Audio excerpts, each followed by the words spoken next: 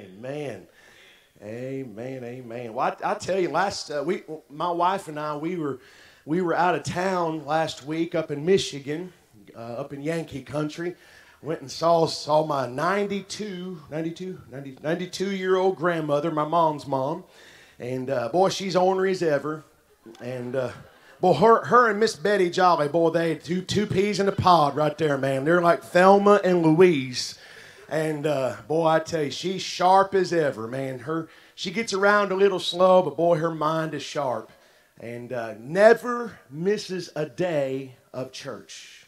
92 years old, and uh, she is the oldest living member of her church, charter member of her church, 92 years old, and uh, Union Street Missionary Baptist Church, and and uh, she loves the Lord with all her heart. But we were up there seeing her and having a great time. You know we had a family get together, and I had a my cousin's wife. We were sitting around the patio table there, and she just about lunged across the table, and she says, "What kind of church do you go to?" I said, "What do you mean?" She says, "I watched online." Now, she's Catholic, all right. She says, What do y'all do there? She says, I've never seen anything like it in my life. She says, There's something there that's real. Am I right? And I'm telling you, she words getting out. Words getting out what God's doing at I Am Worship Church. And uh, man, I tell you, she she got online and watched and and uh, watches services, and man, I tell you, it's just God. God's doing something in a little old field on the side of the highway in Rickman, Tennessee. Can I get an amen? Amen. So I'm, I'm glad we get to be a part of it. Amen. Amen. Amen. And uh, I, I believe that uh, what God's doing here at I Am Worship Church is special. And uh, now, if you want to, if you want a good, if you want a, an, a 50 minute church service with two songs and a sermonette by a preacher read and just mark it off your list, that's great this ain't your church. All right? but if you want to experience the power of God in a real way, I'm telling you, right up in here, there's some hungry folks that knows there's more to this thing with Jesus. Amen? Amen. Anybody want more? Let me hear from you. Amen. Nothing against those other churches. Don't get me wrong, all right? But I'm telling you, you never know what's going to happen from Sunday to Sunday here at I Am Worship Church. You might see somebody get healed. You might see somebody get saved. You might see somebody's marriage get put back together. I'm telling you, you don't know what you're going to see. And here's the thing, church you can't afford to miss a single service. Hello? Because then you'll be behind. And uh, last week when we were in Michigan, man, I was in the shower. And, man, I threw the curtain open, getting dried off. And I said, honey, get the TV turned on. Church getting ready to start. We got to watch on YouTube. And she says, boy, settle down. It's only 10 o'clock. And, uh, but I was out, we were out of town, but I wanted to be in worship with my family because I love my church. Amen. And uh, boy, didn't Pastor bring a word last week? Amen. Four saved last Sunday.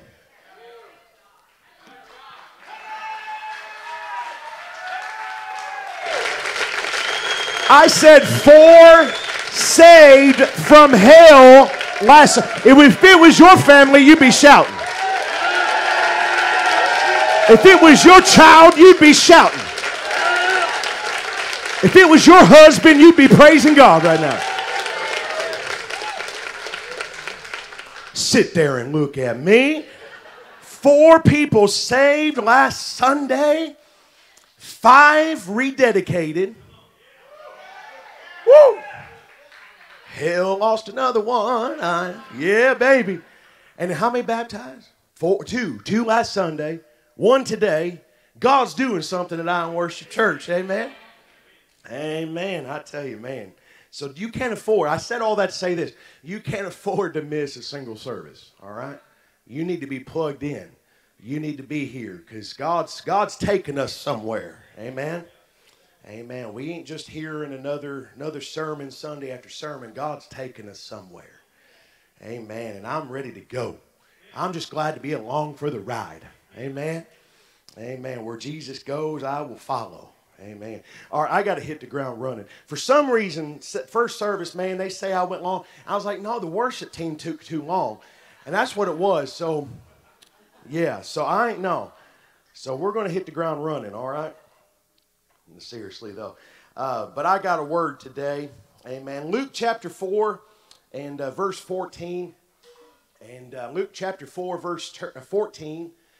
And uh, I tell you what, let's stand up and read Let's give honor to the Lord, His Word, and His presence. Amen.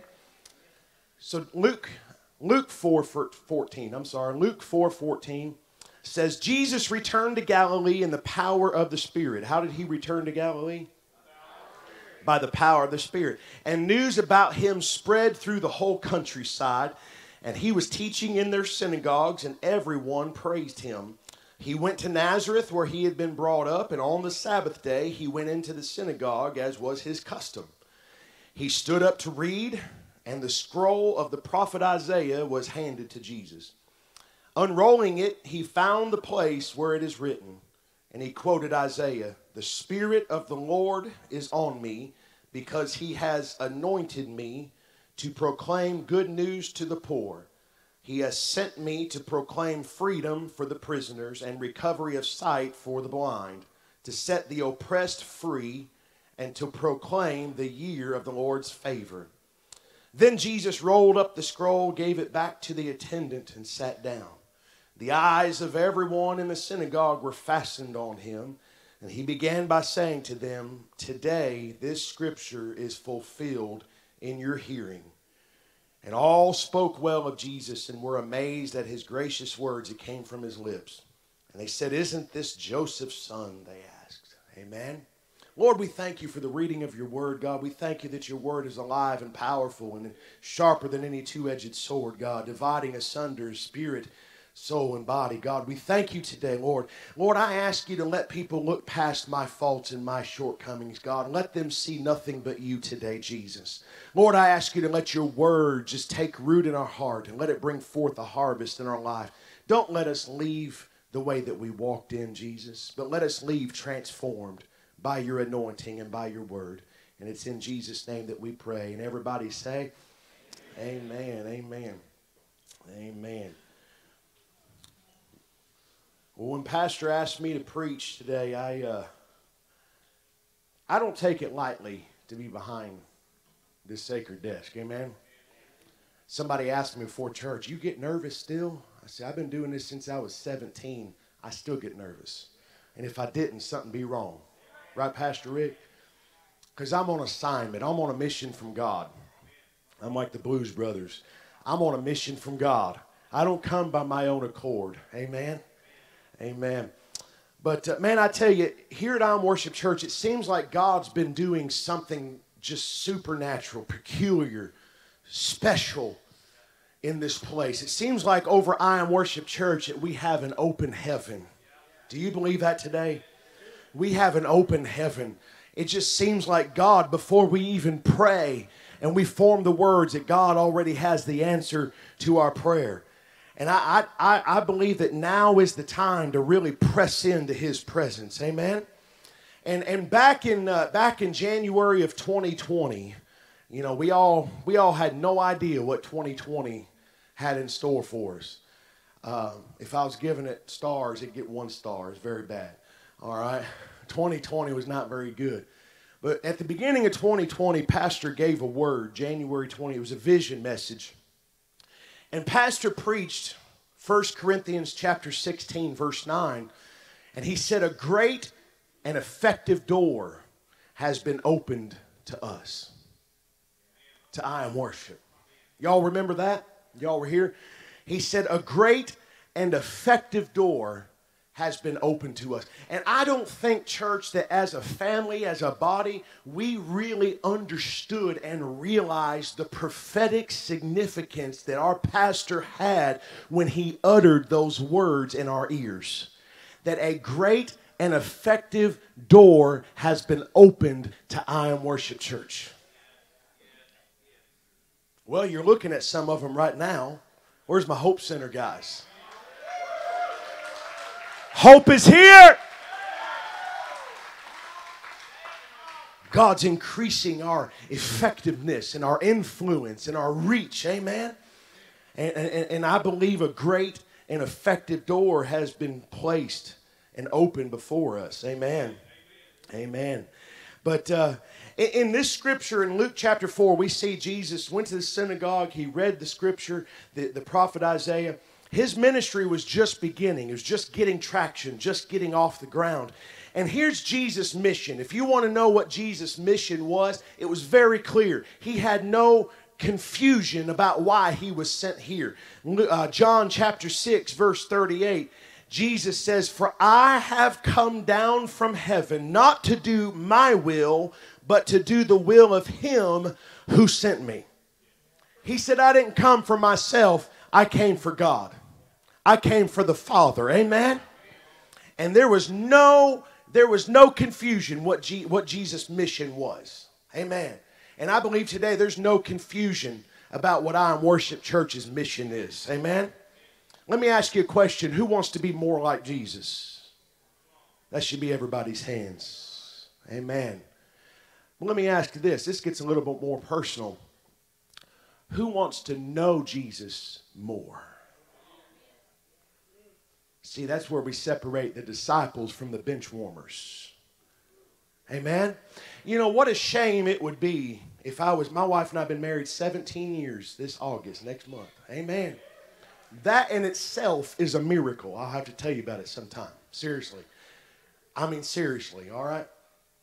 But what a shame it would be if I was married to my wife for 50 years, but I didn't desire to know everything about her. You know, and I feel that's the way that Jesus looks down at us, Elder Keith. He's saying, You said yes to me, you gave your heart to me, but that's where it ended. Why haven't you asked me to know me more? The Bible says that He has secrets in hidden places. He has revelation. He has inspiration. He has things that He wants to reveal to you, but you're in a relationship with Him and have no desire to know more about Him. What a, what a travesty that would be. Amen? Jesus says, oh, thank you. Je- Jesus said, He that hungers and thirsts after righteousness, what? Shall be filled. It shall be. And when you put a demand on God, He shows up. I said, when you put a demand on God, He shows up. When you say, God, I want more of you and less of me, I want to know you more, baby, before you get the rest of the words out of your mouth, He's already on His way and He's ready to reveal Himself to you in a powerful way. Amen? Amen. Jesus, so He starts His, his ministry. He's, he's come here not for his own will, but for the will of God who sent him. Let me tell you what Jesus was today, church. Let me tell you what it was, what he was. He was a sold out servant. I said he was a sold out servant. There was no question about what his mission was. There was no question about if he was going to do this or if he was going to do that. There was no internal struggle if he was going to say, Well, I want to do this, but God wants me to do that. No, he was a sold out servant. Say, sold out servant. He was a sold out servant. I'm looking for some sold out servants in here today. Do I have any sold out servants in here today? Oh, there's a couple of you. I believe there's more than that. Are there any sold out servants in here today? Sold out servants. You ain't got to be recognized. You ain't got to be applauded. You ain't got to be promoted. Come on, somebody. You're just a sold out servant. You're ready to do whatever is, is ready, whatever is needed. You're a sold out servant for Jesus. Amen. And I believe, I believe there's some sold out servants in the room today. You know, we were at, uh, uh, Jed and Heather got married yesterday. Look at them. Couldn't smack that smile off of the two by four, I tell you. And, and yesterday, I mean, it, you know, it was a wedding, beautiful day. And I was just standing around, just admiring, Pastor. I said, look at all these I am worship servants just running around. I mean, they were running around like ants all over the place, doing this, doing that. And I said, Our church is full of sold out servants. They don't care what needs to be done, it's just going to get done. I don't care if I get to sing. I don't care if I get to preach. I don't care what I, if I got to change diapers, if I got to shake hands. I don't care what I got to do. I'm a sold out servant and I'm going to work in his house because I want to see somebody's life get changed. Hello, somebody. Whatever needs to be done, I'm going to do it because I'm a sold out servant. Say, I'm a sold out servant. I'm a sold out servant. Amen. They ain't got to have the spotlight. They ain't got to always be right. They ain't got to be praised. They just want to see lives changed by Jesus. Amen. Here's something else that sold out servants are they're in the Word. There, uh, Paul said, Though my outward man perishes, my inward man is renewed day by day. He knew the importance of building up his inner man. And sold out servants, they're in the Word.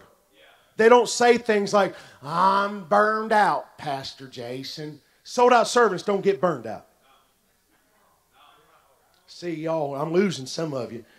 When you're a soul, I, I wasn't made, Tyler, I wasn't made for the bench. I wouldn't, if, if I came in here every Sunday, Sunday after Sunday, and all I did was walk in this church and sit down and say, Bless me, Pastor. Like a little bird with my mouth open. Feed me. That, that wasn't why I was created, and I don't believe that's why you were created. Because I believe I'm in the room with some people that want more. I believe I'm in the room with some people that are sold out servants. And they, and, and you know, and, and people say, "Well, I just got offended by so and so." Well, yeah, it's because you're not sold out. When's the last time you've been in the Word? Sounds like flesh to me talking. When's the last time you've been in prayer? Because things like that don't come out of your spirit. Things like that come out from your flesh. Amen. And sold out servants know the importance of being in the Word and being in prayer. Can I get a yes? Amen. Sold out servants don't blend in. They're not chameleons. You don't know if they're a Christian unless they show up at church.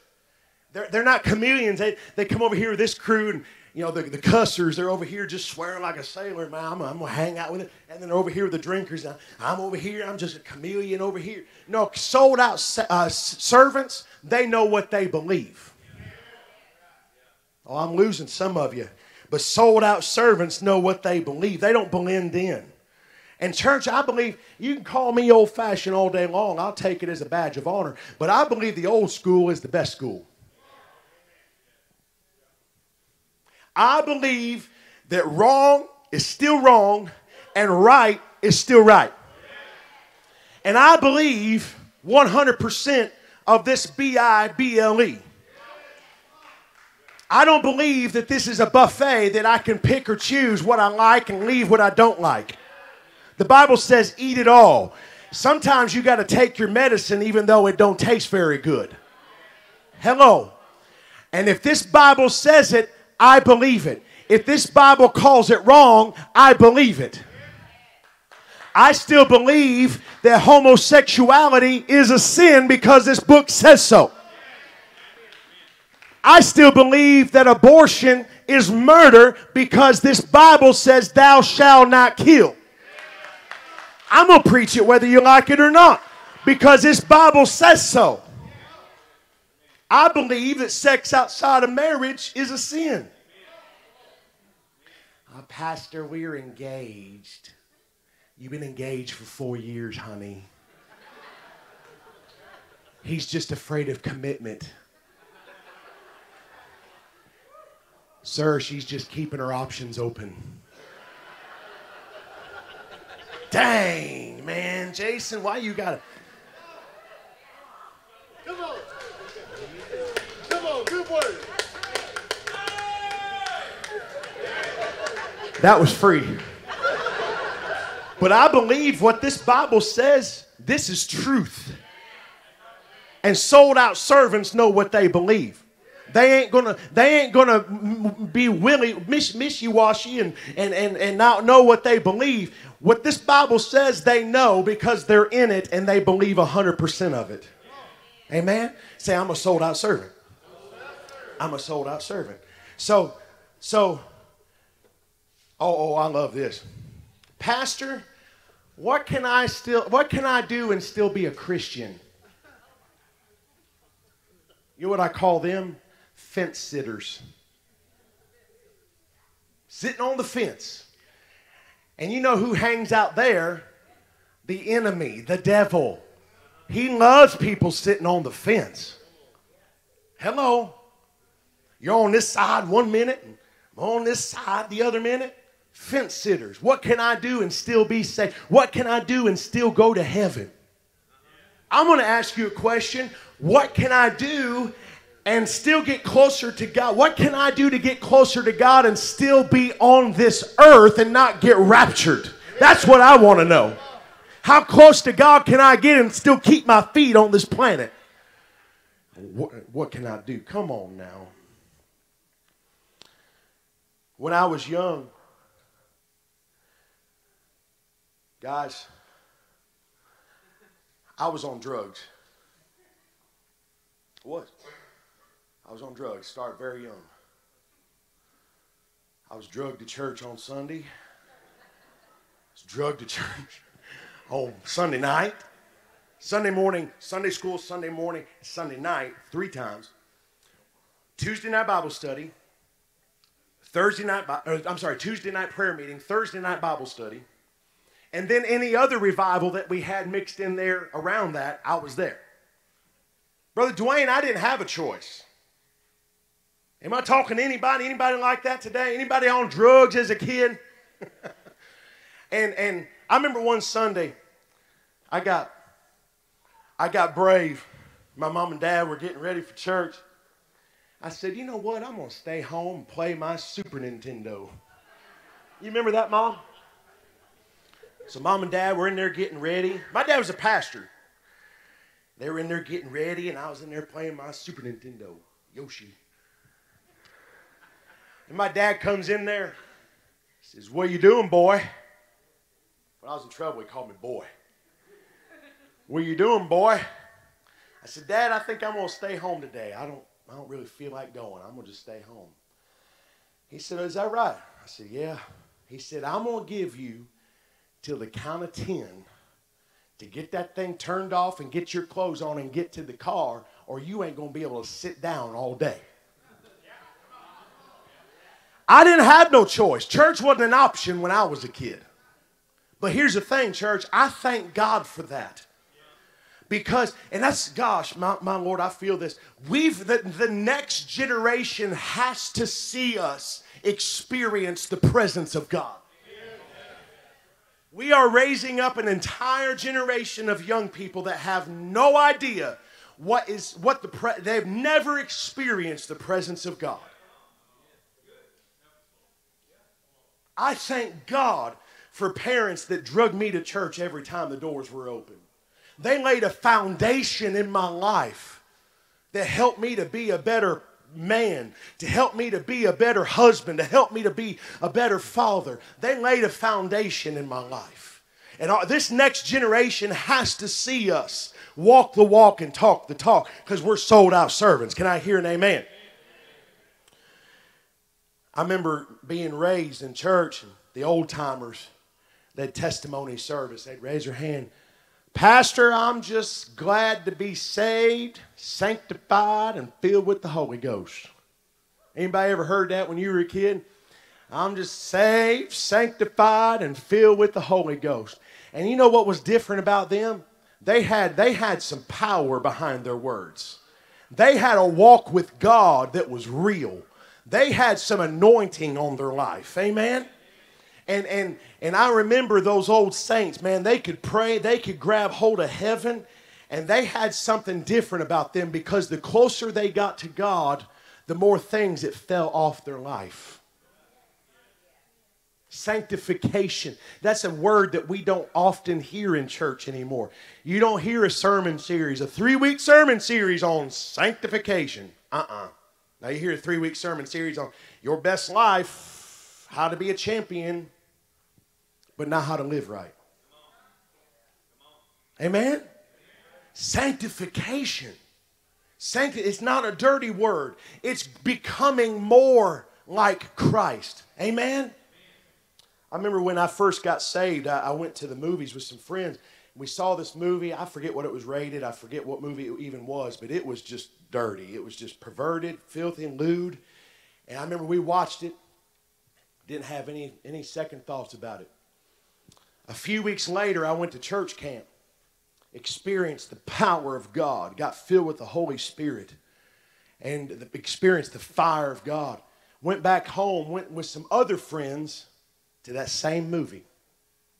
Mike, five minutes into that movie, I got so uncomfortable.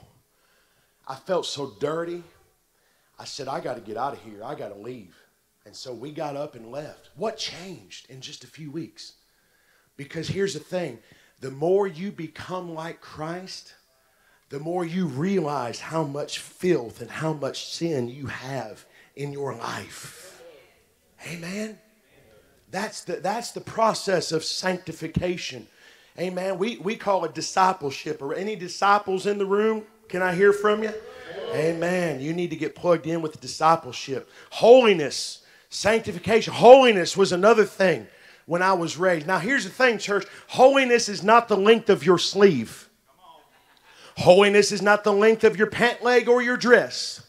Holiness is not the length of your hair or whether or not you wear makeup. That is not holiness. If that is your gauge of holiness, I'm sorry, but I'm going to kill your sacred cow today. That is not holiness. Holiness is an inward act. Amen. Here's my definition of holiness holiness is living out the standard of God every day in my life. Now, y'all raised your hand a minute ago. I want to become more like Jesus.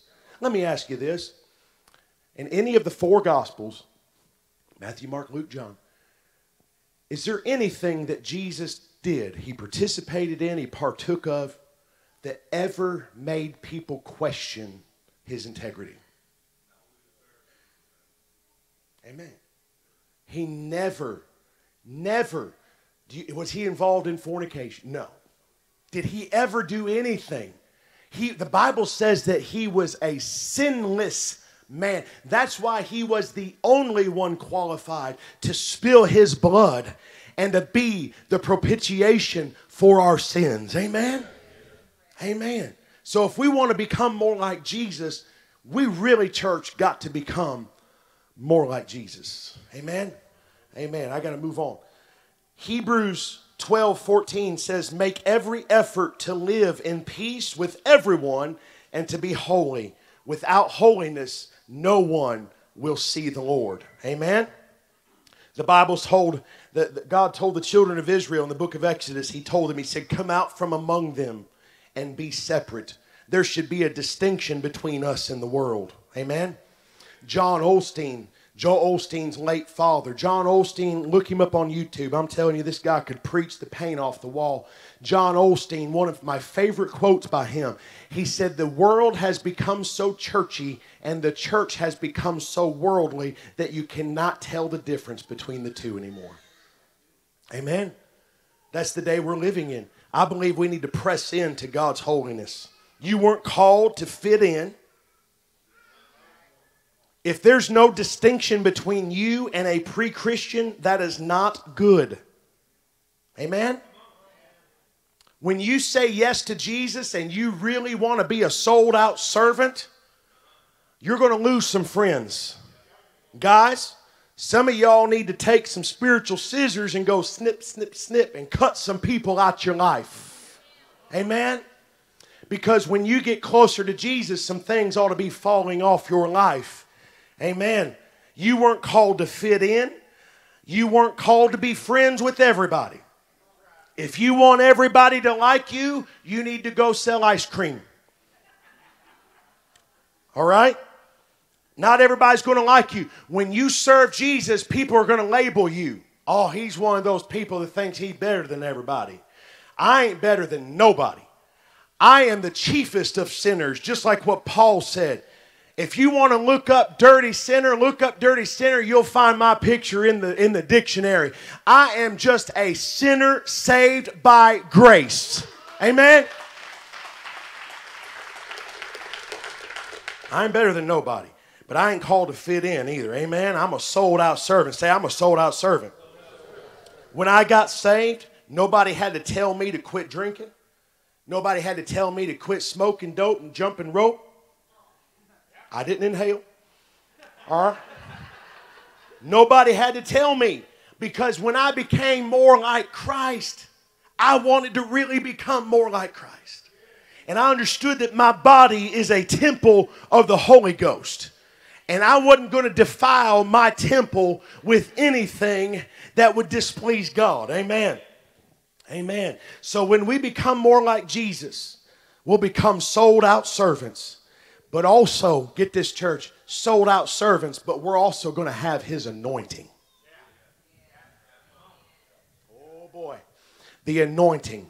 The anointing. All right, so we're going to go to school real fast. The anointing. It's not anything mystical, it's not anything uh, super spooky or spiritual. Here's the anointing. I'm going to give you my professional definition. The anointing is the supernatural empowerment given by God to you, watch this, for someone else's benefit. If it's all about you, it ain't the anointing, it's your talent. The anointing is what makes the difference. The anointing is what separates entertainment from an experience the anointing. The anointing is what separates a motivational speech from a word from God. The anointing. It's not what I say, it's what's on what I say that makes the difference. It's the anointing that breaks chains. It's the supernatural empowerment. Now some of some of you might be anointed. Say I am anointed. See right there. Right there. There's another sacred cow that's getting ready to get killed right here at this altar. You are anointed. I don't care what your denomination says. I don't care. The Bible says that you are anointed. Did Jesus not say, The works you saw me do, you're going to do? And greater. So, if Jesus did those by the power of the anointing, that means to say that we are anointed. Say, I am anointed. I want you to say it like you believe it. Say, I am anointed. You are anointed. Some of you are anointed to give, some of you are anointed to serve, some of you are anointed to teach, some of you are anointed to win souls. Amen. Some of you are anointed just to be a smiling face when people come in the door so that they can feel the love of Jesus. But you are anointed. Everybody under the sound of my voice, you are anointed for a specific reason in the body of Christ. You are anointed. You are, but Pastor Jason, you don't know my past. You don't know what. I didn't ask you for your resume, and God does not care because He does not call the qualified, He qualifies the called. And he does not ask you about your past experience. He does not take that into consideration. He says, You're anointed. You're anointed. And people, there are people out here, pre-Christians, people that are hurting that needs the anointing in your life. Do you believe that today? Say, I am anointed. When you say yes to Jesus, anybody say yes to Jesus? Woo, boy, it'll turn your life upside down and right side up and turn you around. Amen. But when you say yes to Jesus, you know this the same spirit that raised Jesus from the dead takes up residence in your body. not some watered down version, not some twice removed by marriage, the same Spirit that raised Jesus, our Master, from the dead, that invaded that borrowed tomb, the same Spirit lives inside of you. The same Spirit. Let, us I'll give you a Bible on it. All right? Romans chapter 8. Romans chapter 8, verse 5. Those who live according to the flesh set their minds on the things of the flesh, but those who live according to the Spirit set their minds on the things of the Spirit. The mind of the flesh is death. What is the mind of the flesh? Death. But the mind of the Spirit is life and peace. If you need life and peace, you need to have a mind of the Spirit. Because the mind of the flesh is hostile to God. It does not submit to God's law, nor can it even do so. Those controlled by the flesh cannot please God.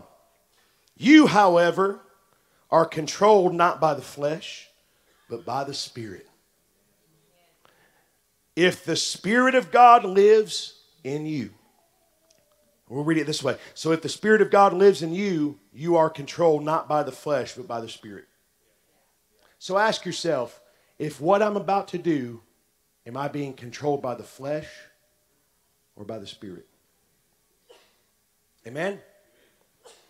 And if anyone does not have the Spirit of Christ, he does not belong to Christ. But if Christ is in you, your body is dead because of sin, yet your spirit is alive because of righteousness.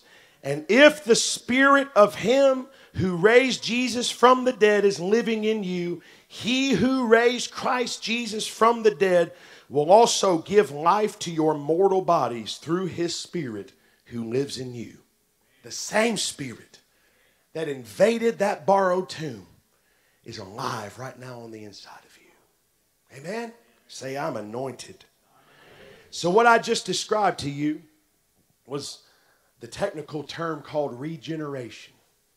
So when you're saved, you become a new creation. Old things are passed away, all things are become. Amen. But what I'm about to, now that's good, all right? But what I'm about to talk to you about is a totally separate experience. Look at somebody and say, put it up on the screen.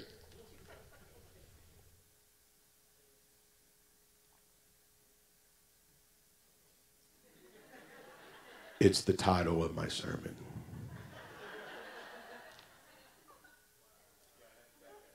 There you go. You ain't seen nothing yet. You ain't seen nothing yet. Look at your neighbor say, You ain't seen nothing yet. Oh, you ain't seen nothing yet. You ain't seen nothing yet. John John chapter 14, verse 12. Very truly I tell you, whoever believes in me will do the works I have been doing, and they will do even greater works than these because I'm going to my Father. Jesus said, The works that you saw me do, you're going to do, but even greater because I go to my Father. Now that would sound that would sound strange to the casual observer because they would say, "Well, why why am I going to do this because you go to your Father? Aren't you the miracle worker, Jesus?" Amen? Why, why, why am I going to do greater? Because you go to your father. Well, let's let's continue on. Let's look. Let's look at uh, uh, John chapter four, verse uh, fourteen, verse uh, sixteen. And I, Jesus said, I will ask the Father, and He will give you another advocate, another comforter, the Holy Spirit, the third person of the Trinity. Amen. He said, I will ask the Father, and He will give you another advocate to help you and be with you forever. The Spirit of truth. The world cannot accept him because it neither sees him nor knows him, but you know him, for he lives with you and will be. I'm burning up. So here, here here's uh, where are we? Come here, come here, man. Yeah, yeah. So in the Old Testament, so what's up, buddy? So, so in the, so when the uh, in the Old Testament, the Bible used to say, "And the Spirit of the Lord came upon." Samson, the Spirit of the Lord came upon Samson. Samuel, the Spirit of the Lord came upon Samuel. So in the Old Testament, you see the Spirit of God would come upon men and women for a specific purpose for a temporary season. Y'all with me? So, like the Spirit of God would cover that individual. And that Spirit of God, what's the anointing? Go back to the anointing. Supernatural empowerment given by God to you for someone else's. So in the Old Testament, the Spirit of God would cover that person and they would do the thing that God called them to do. Amen. But then after a season, that spirit would lift off of that person. Right? So, what I'm saying here is, thank you, buddy. So, what I'm saying here is, Jesus said, He that is with you is about to become in you.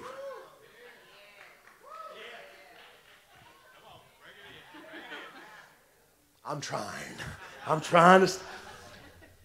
Jesus was a man. He was a son of man. He bled red blood just like me and you. He had emotions just like me and you. The Bible says that he went to, the tomb of Lazarus and the Bible says that he he wept, he cried, he had emotions. Isn't that something Jesus knew he was going to raise him from the dead? He knew he was a resurrection in the life. He hadn't forgot who he was, but he still wept. He still had emotions just like me and you because he was a son of man. But not only was he all human, he was also all God. I know it's hard to understand, but he was just as much a man as he was God and just as much God as he was a man. But here's the thing Jesus was constrained by time and space. So, Lazarus, for example, they said, Lazarus, your friend's dead. You better hurry up and get over there and heal him, or he's going to croak. And Jesus is like, I'm over here trying to heal this guy that's blind. I'm only one person. All the mothers in the house say yes. How many times do I hear my wife say to my children, I am only one person? So Jesus is over here healing the blind man. They're like, Lazarus, your friend is sick. You better hurry and get over there and heal him before he dies. Jesus over here ministering, healing the sick, raising the, raising the, the oppressed and, the, and the, the crippled, and healing the lepers. His friend Lazarus dies because he was only one person in one place at one time.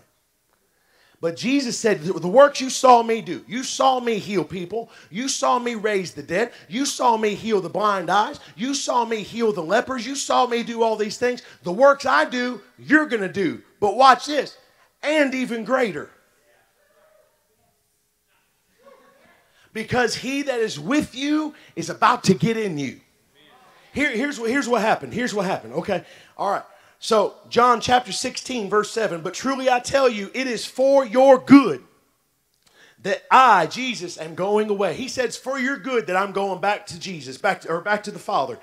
He said, unless I go back home to heaven, unless I go away, the advocate, the Holy Spirit, the per- third person of the Trinity, the, the, the Parakletos, the one that's called alongside to help, he said, The advocate will not come to you, but if I go, I will send him to you.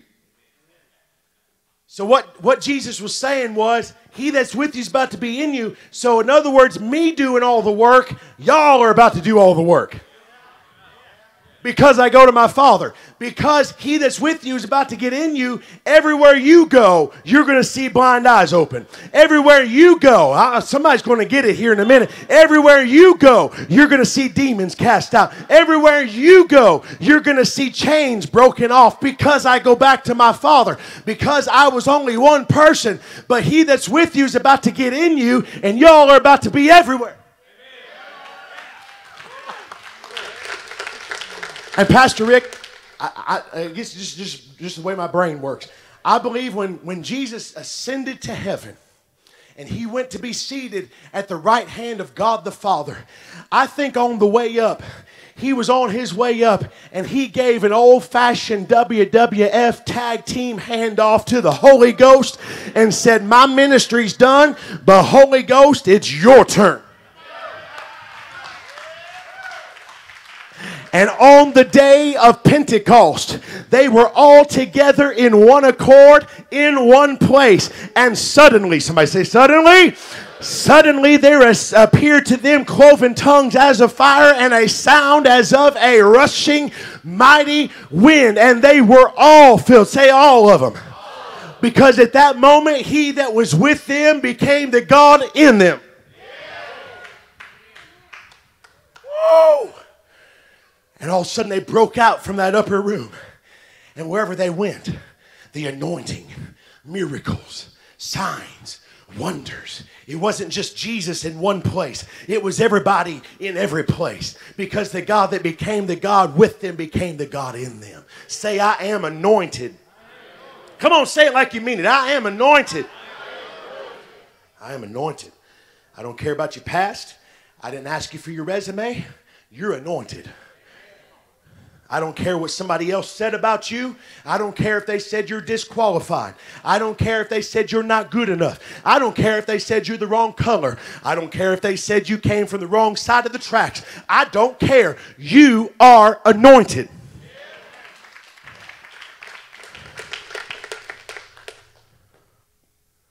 Do me a favor. Say, preach, white boy. Thank you.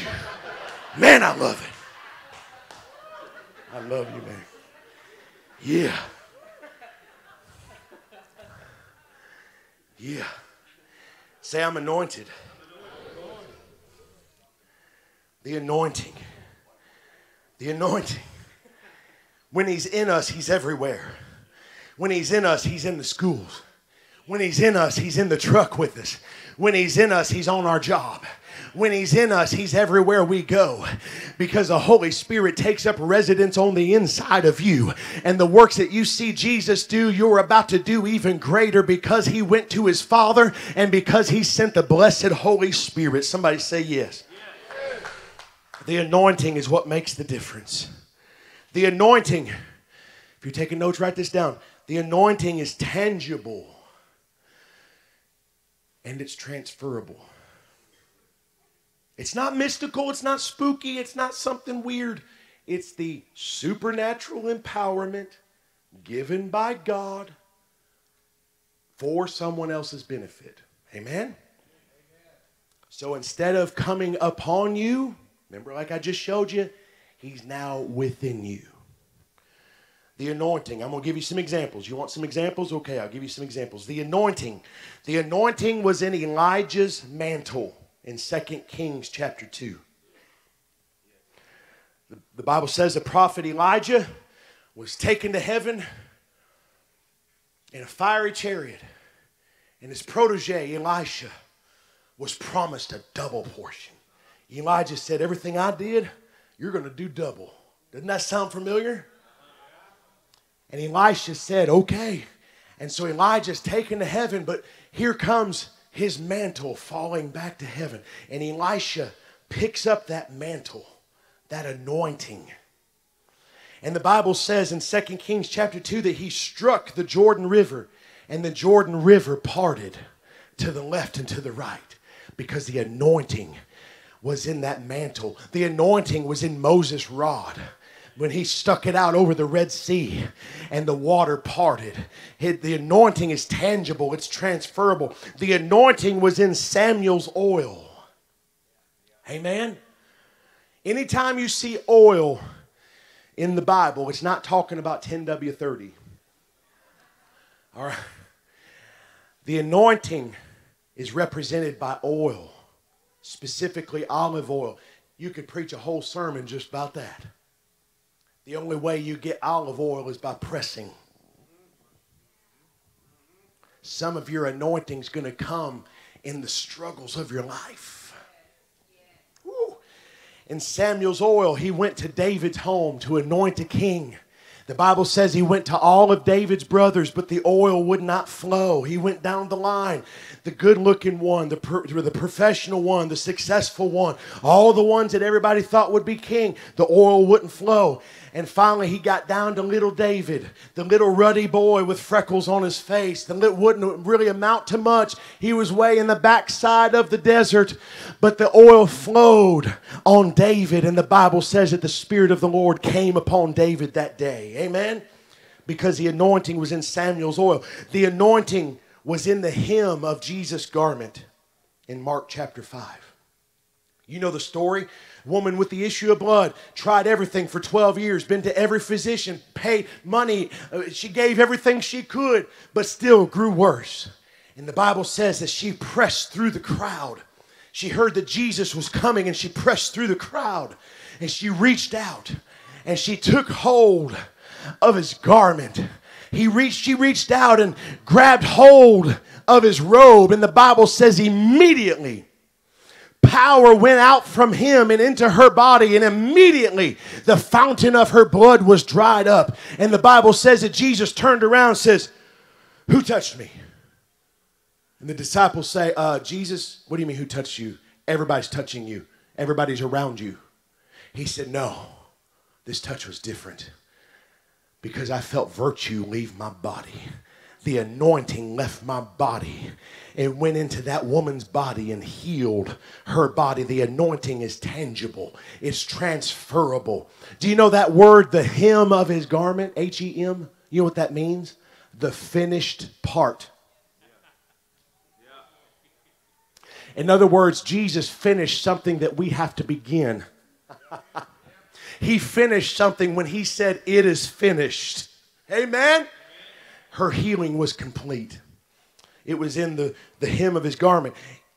The anointing was in Jesus' words when he said, Lazarus, come forth. Lazarus, come forth. The Bible says the man that had been dead four days came back to life. Do you know, church? That if Jesus had not designated Lazarus by name, that at the sound of his command, every grave would have burst open. If he had said, Lazarus, come forth, every grave under the sound of his voice would have burst open at the anointing and power of Jesus' words. That's the anointing. Say, I'm anointed. The anointing was in Peter's shadow in Acts chapter 5. The Bible says that after the day of Pentecost, they were endued with power from on high, and, and miracles, signs, wonders just became everyday occurrences. And the Bible says that Peter would walk to the synagogue, he would go to church, and the people knew his route, they knew his schedule, and they would lay these people out on the side of the path that were lame, that were sick, that were demon oppressed, that were leprous. They would lay them there on the side, and Peter's shadow would just pass over them. And the Bible says that they would be instantly healed because of the anointing. Say it's the anointing. Are y'all with me today? Are y'all, have I lost y'all? Are you with me today? Say it's the anointing that makes the difference. The anointing was in Paul's handkerchiefs and aprons. The Bible says that Paul would be ministering he'd be doing the works of the ministry, and people would come up and they would cut off pieces of his garment, off of his robe, and they would take that piece and they would run back to people who were sick and who were oppressed, and they would be healed. Not because of a cloth, not because of a man. It's because of the anointing that was upon that man. The anointing is transferable. Amen? It's the anointing that makes the difference. I'm anointed. Say, I'm anointed. Amen. The anointing flows. Watch this, church. I'm almost done. The anointing flows to people who are connected. Psalm, Psalm 133. Psalm 133. How good and how pleasant it is when God's people live together in unity. What a profound statement. Unity. Amen? It is like, what is? Unity is like precious oil poured out on the head, running down on the beard, and running down on Aaron's beard. When Moses anointed, remember, the anointing oil represents the anointing, right? So when Moses takes that oil in Exodus chapter 10, and at God's command, he anoints Aaron and his sons to be priests over the nation of Israel. That's what it's referring to here. It's like the precious oil that's poured down on the head, running down on the beard, running down on Aaron's beard, down on the collar of his robe. Uh, let me, hey, uh,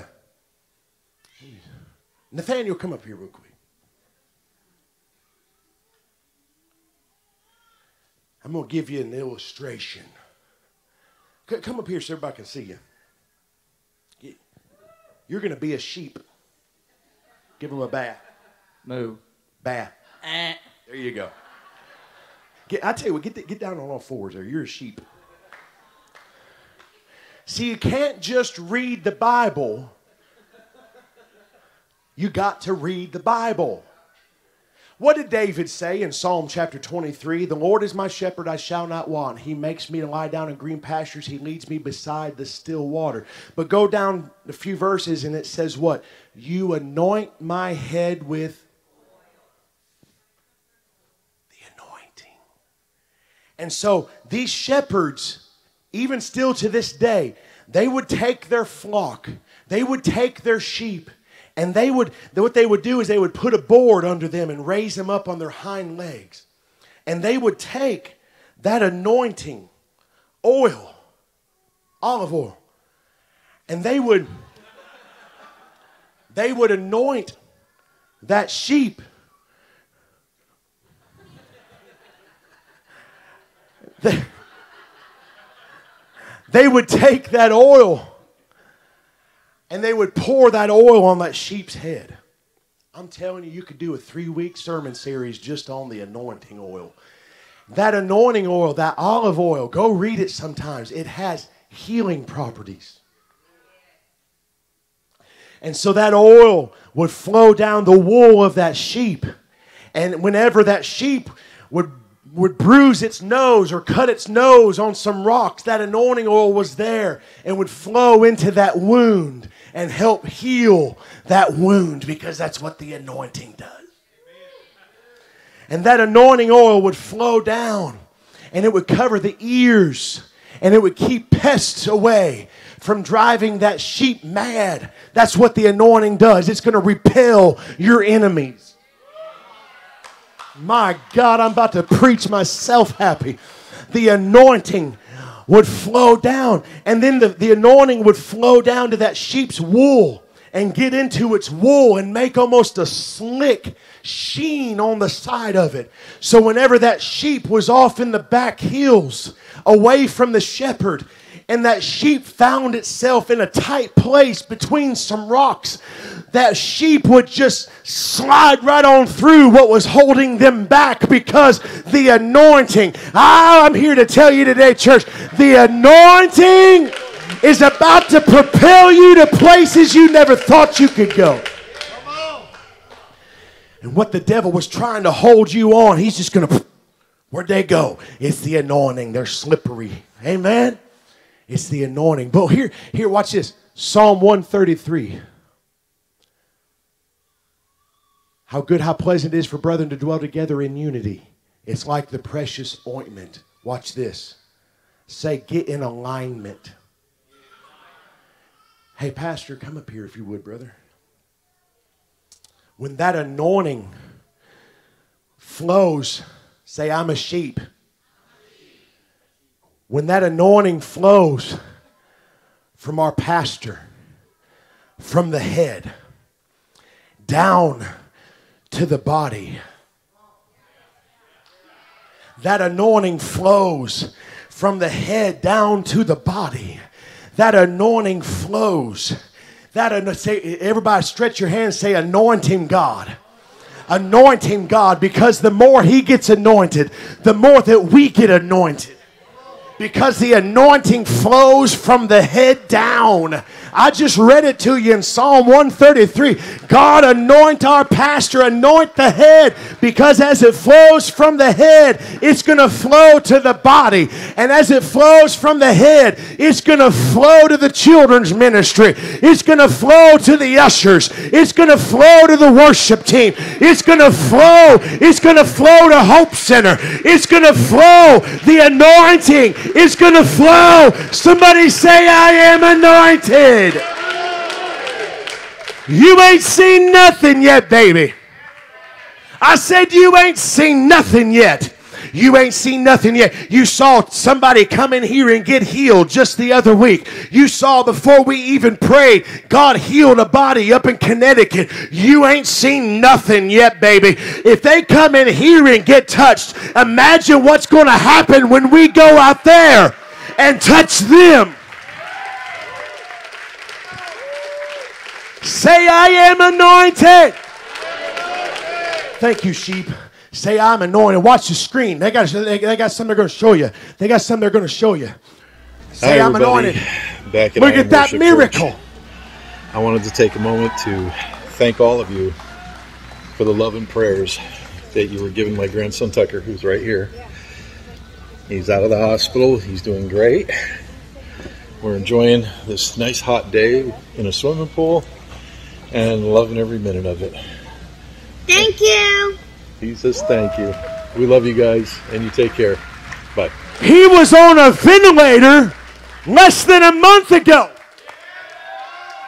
And here's the thing, church. We were in worship. We were worshiping. And all of a sudden, God just dropped down in this place. And I said, Hey, get the elders of the church. James chapter 3. If any sick among you, call for the elders of the church so that they can anoint with oil and pray the prayer of faith because the prayer of faith will raise the sick. And we prayed for Tucker, his grandfather. Where are you at, Tony? Get down here. To- Tony came down here and, and, and, and, and we prayed for, for Tony and we just prayed, God, let your will be done. God, he's up in Connecticut. He's on a ventilator. He's been in an accident. God, you're in control. And we prayed, right? We prayed. And God moved. And then we started worshiping. And then all of a sudden, one of our production team comes down and says, We got a message. They just took Tucker off the ventilator just then. Why are you not throwing chairs in here? Why are you not losing your mind? It's the anointing. The anointing. We, we did according to James chapter 3. We prayed. The elders of the church, we anointed with oil. We prayed. That same anointing that's in Rickman, Tennessee, and that anointing invaded that, that uh, pediatric ICU room and invaded that child's body and raised him up because the anointing is real. The anointing is tangible. The anointing is transferable. Say, it was a big day.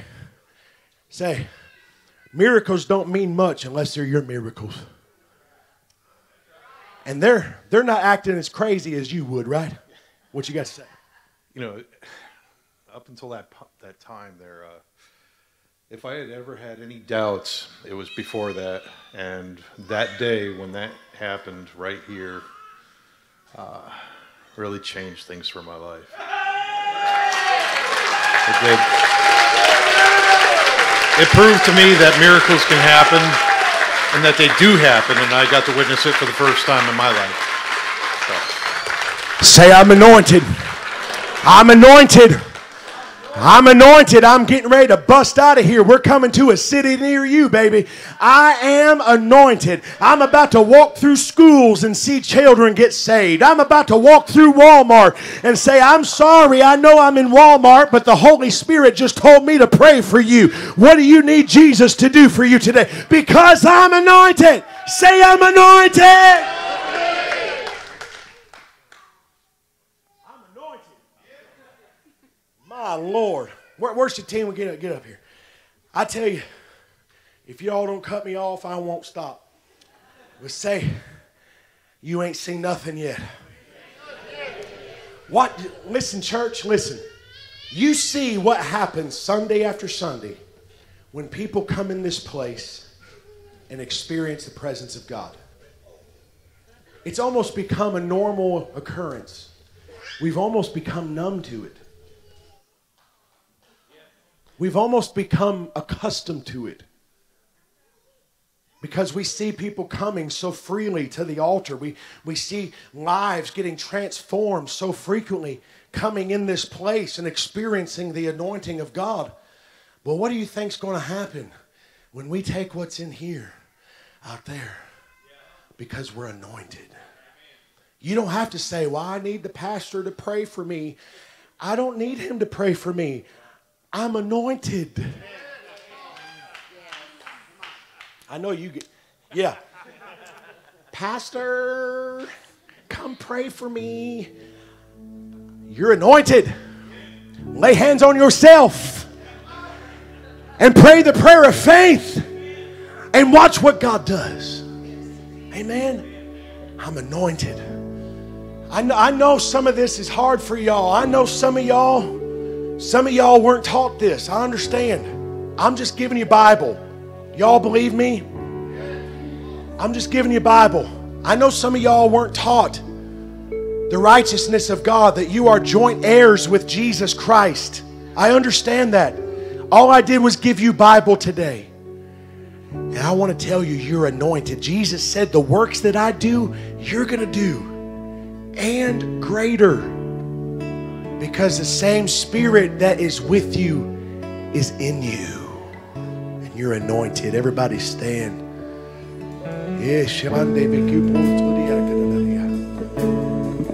Can I can I get some Holy Ghost filled prayer warriors? Let me get the elders, pastors. I'm going to obey the Holy Spirit real fast. Hey, Jed, come down here.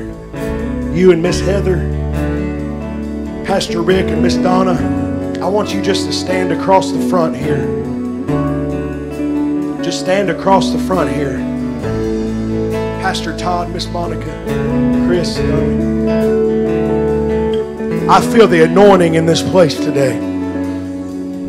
I said, I feel the anointing in this place today. And you don't have to leave the way that you walked in here. But the anointing of God can transform you and change you in an instant. And what takes the doctors months to do, the anointing can do in a matter of seconds. Do you believe that today?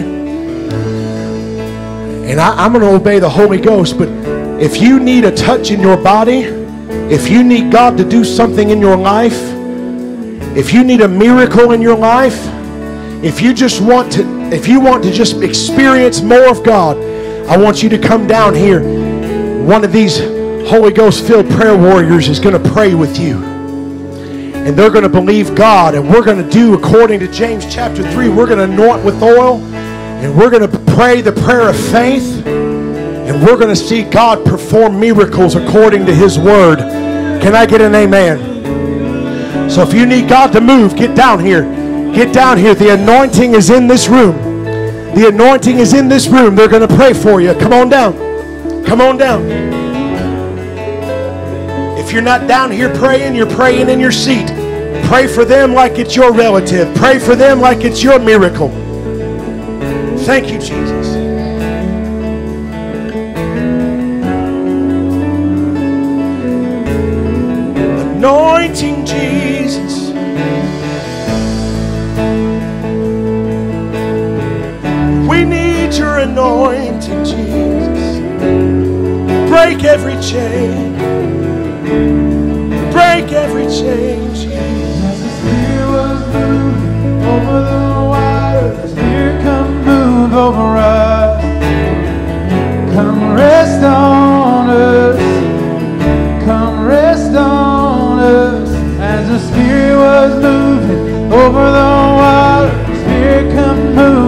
Us.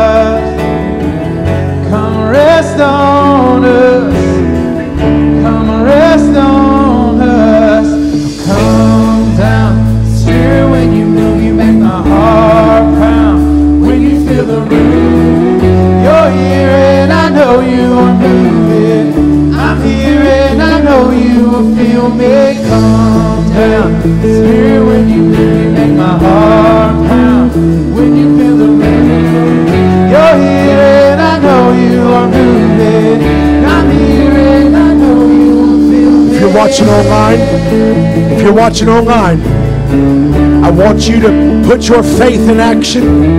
The anointing can touch you right where you're at. You just stretch your hands towards that screen that you're watching right now. And I want you to put your faith out there for whatever you're believing God for. Whatever you need Him to do. Whatever you need Jesus to do, He can do it today. Extend your faith. We're going to believe God with you today. Believe God for the impossible. The anointing is coming right where you're at. Come on, church, worship the Lord. As the Spirit was moved, As the spirit was moving over the waters,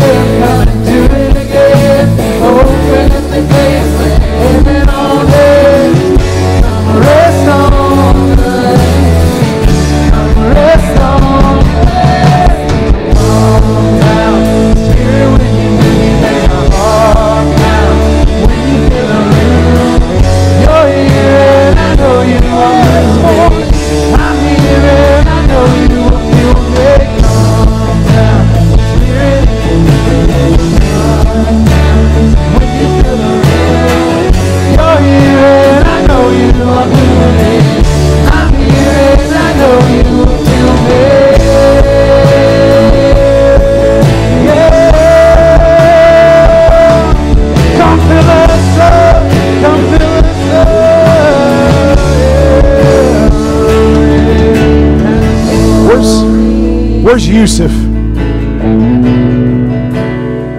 Come up here. Nat. Stay right there. I got a word for God from you. Lift your hands. I you. Ever since I saw you yesterday at the Hope Center, I've had you on my mind. And I prayed about you last night. And I want to tell you, God spoke to me to say, this supernatural promotion is on the way for you. That He is about to open doors. He's about to open doors for you that no man can shut. And He's about to shut doors that no man can open. But His supernatural favor is coming upon you now, just like that anointing. His supernatural anointing. You were not called to sit on the sidelines, but you are a leader. You are a man of God, and God has called you for a great purpose, says God. Don't look to the left. Don't look to the right. Keep your eyes upon me, says God, and I will open doors and I will make the crooked way straight and I will give promotion in the due season, says God. Thank you, Jesus. Thank you, Jesus. Somebody give God praise.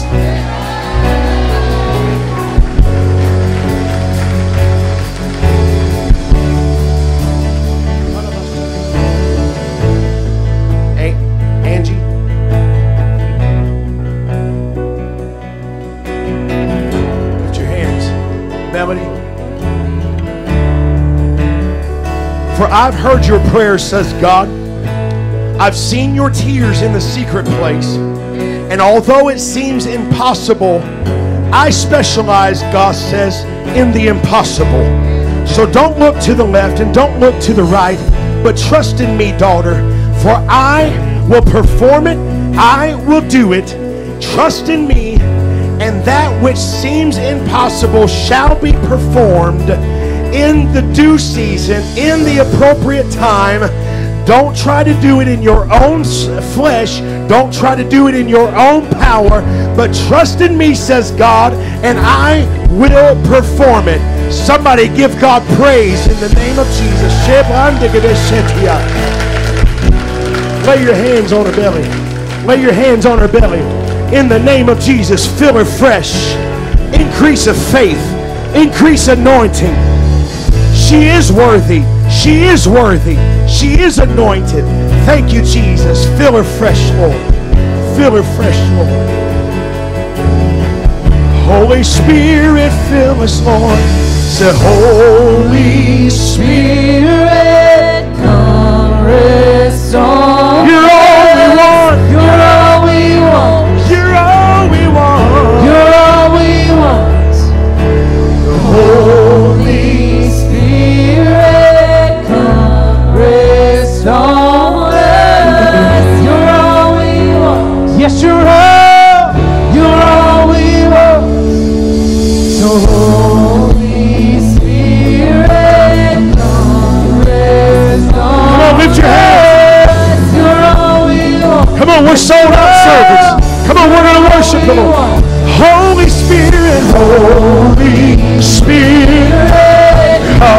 rest.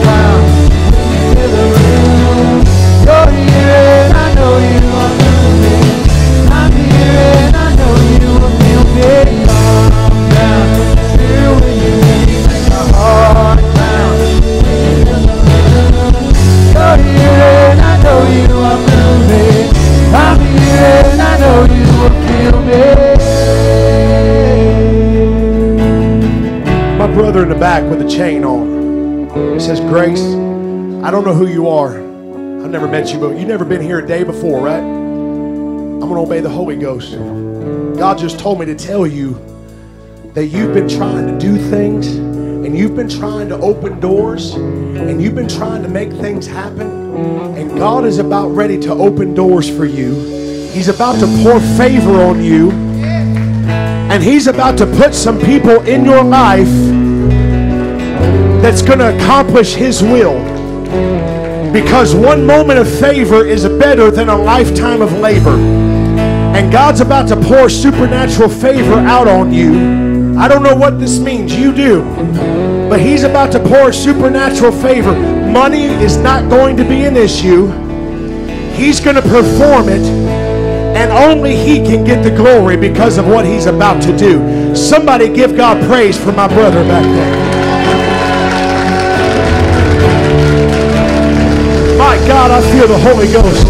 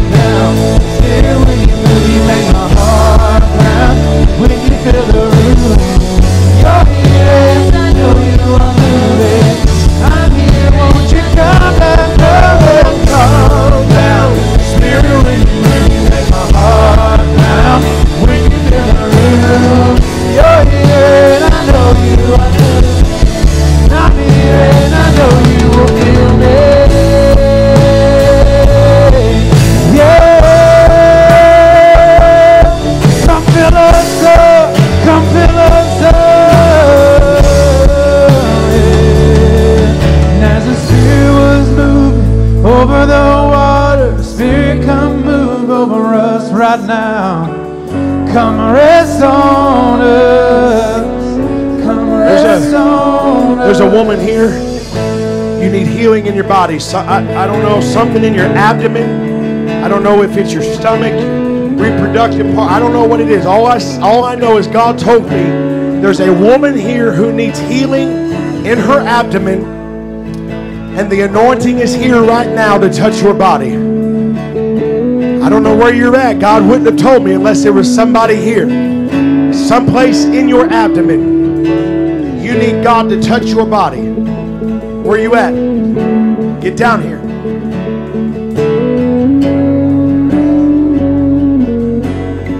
Is that you? Is that you? Come right over here.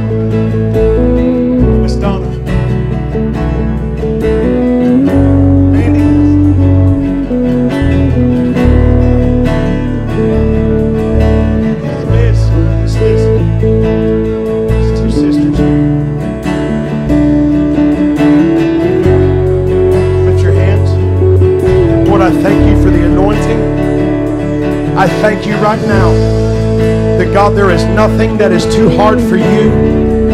That God, you are the great physician. And God, we thank you right now that you are able to perform your word, that there is nothing that is too hard for you. And Lord, I thank you right now for your anointing, that you're going to make right what is wrong, that you're going to put back what has been taken. I rebuke pain right now in the name of Jesus. I rebuke discomfort right now in the name of Jesus. And Lord, I thank you for complete restoration. I thank you for complete healing right now in the name of Jesus. The anointing flooding your body right now in the name of Jesus. It is done. It is done. It is done. It is there it is. There it is. There it is. It is done. It is done. Oh, I feel like I feel like fire. I feel I feel it right now the anointing. It is done right now in the name of Jesus. In the name of Jesus. In the name of Jesus. It's done. Somebody give God praise for these women right now.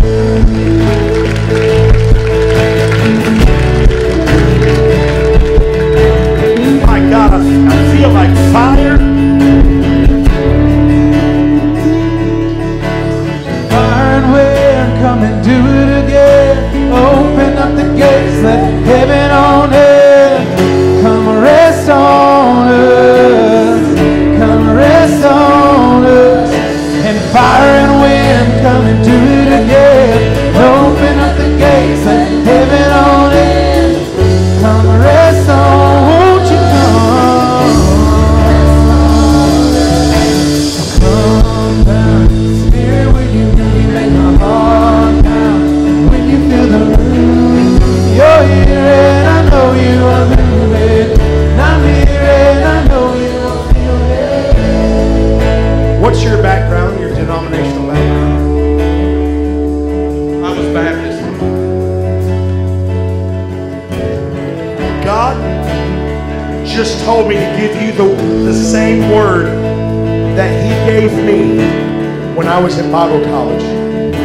Was in a secret time of prayer. Hold on, guys.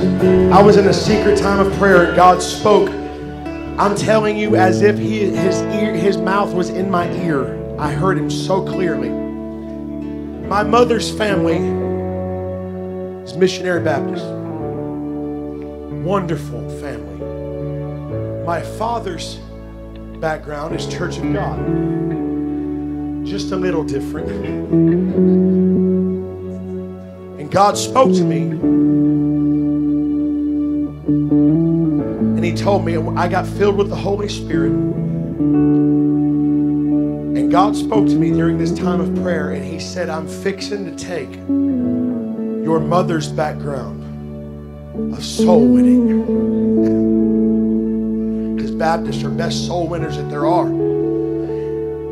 He said, I'm taking your mother's anointing that's on her family's life for winning souls. And he's taking, he said, I'm taking the anointing that's been passed down on your father's side for the empowerment of the Holy Spirit. And he said, I'm merging them inside of you. My God, I feel it. And there is no coincidence that you have been called for outreach, brother, for evangelism. And that same word is just as valid for you as it was for me. He said, I'm taking the soul winning anointing and I'm taking the spiritual empowerment anointing and I'm merging them and I'm baptizing you right now. Somebody lay your hands on him right now. Somebody lay your hands on him right now. I'm pouring out that same anointing right now, says God, that souls are going to be won, that bodies are going to be healed, the demon oppressed are going to be set free by the power and the anointing of the Holy Ghost. And brother, that anointing is going to flow through you. It's going to flow through you like mighty waters. In the name of Thank you, Jesus.